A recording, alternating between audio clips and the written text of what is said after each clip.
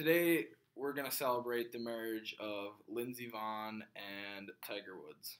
And I'd like to start off with a quote by Paul Harvey that said, Golf is a game in which you yell fore, shoot six, and write down five.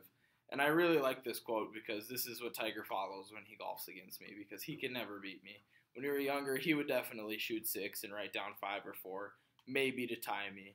Today, he's probably a better golfer than me. I mean, I buy my jackets, he just wins his.